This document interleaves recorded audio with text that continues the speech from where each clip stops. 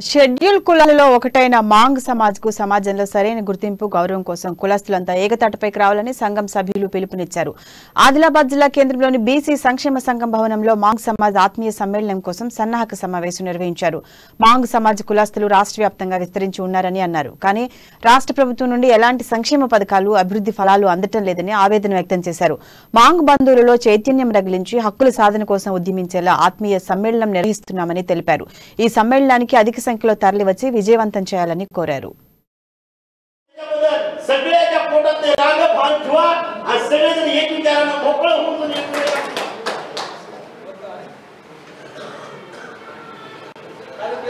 जे झालं ते काढायचं नाही इथून काय करायचं आहे आपण एकमेकाचे हात धरून जायचं आहे ते निश्चय करा निश्चय करून आपल्या पुढे जायचं आहे झालं ते झालं इथून कसं करू ऑलरेडी याच्यामध्ये सांगण्यात आलंय की आपण सत्य షెడ్యూల్ క్యాస్ట్లోని యాభై తొమ్మిది ఉపకులాలలో ఒకటైన మాంగ్ కులం మాది మాతృభాష మరాఠీ మా స- మాంగ్ సమాజ్ బంధువులు తెలంగాణ రాష్ట్రంలో కూడా వివిధ ప్రాంతాలలో విస్తరించి ఉన్నారు కానీ రాష్ట్ర ప్రభుత్వం నుంచి కానీ ఇతర ఏ రకంగా కానీ మా మాంకుల సమాజ బంధువులకు ప్రయోజనాలు కానీ సంక్షేమ పథకాలలో కానీ లబ్ధిదారుల వాటా చాలా తక్కువ ఉంది.